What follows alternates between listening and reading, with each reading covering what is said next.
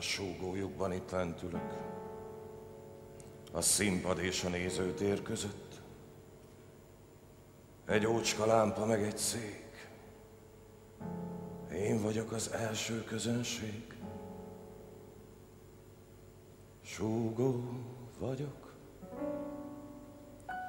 Fennordítoznak iszonyúan, vagyis állítólag próba van. Négy órán át olvasom a szöveget, amit kívülről tudok. És csak én tudok.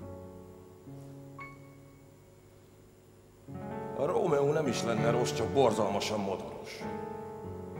Júlia egy szörnyetek, szülne inkább négy gyereket. Egy fos, az egész. Lehettem volna én Rómeó. Na jó, mondjuk Merkúció. Mindenkinek jobb lenne, de a rendezőnek nincs szeme.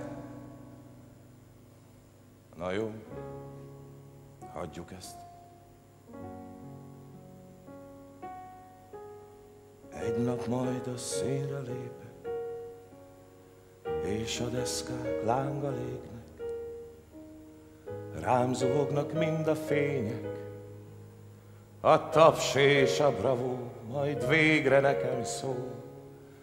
Csak miattam jön a néző, játékom oly megigéző, én leszek majd a legelső, és a kritikákban olvasom, csoda született a színpadon.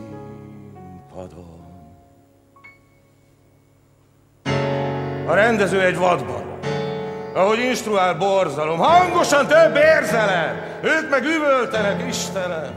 Én csak súgok, ahogy súgok, abban is több a lélek, nem ordítok, hanem beszélek, és azt hiszem az első két sor csak engem figyel, nekem drukkol. És engem dicsér. Egy nap majd a színre lépek, és a deszkák lánga légnek. Rám zuhognak mind a fények, a taps és a bravó majd végre nekem szól. Csak miattam jön a néző, a játékom oly megigéző. Én leszek majd a legelső. De a rendező, a vadbarom, nem tudja, mit tudnék a színpadon.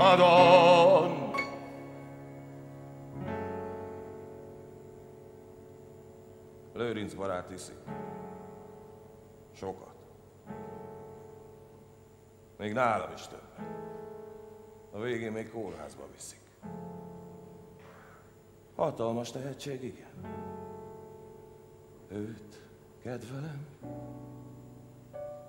Mindig ott vagyok a közelében, és segítem észrevétlen, de azt hiszem már elkéstem. Nem soká kihúny ez a fény.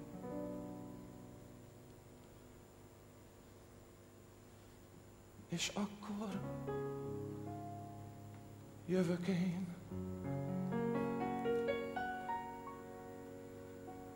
Akkor végre színre lépek, és a deszkák lánga légnek, rám zuhognak mind a fények, a taps és a bravó majd végre nekem szól. Csak miattam jött a néző, a játékom oly megigéző, én lettem itt a legelső, s a rendező a vadbarom. A premier után hozzám lép a színpadon.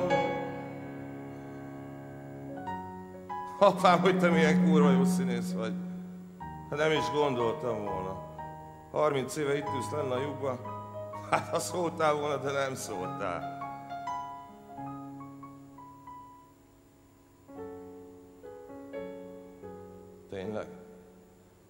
Tetszett? És lehetne esetleg jövőre egy főszerepet én? Itt. Köszönöm. Nagyon köszönöm.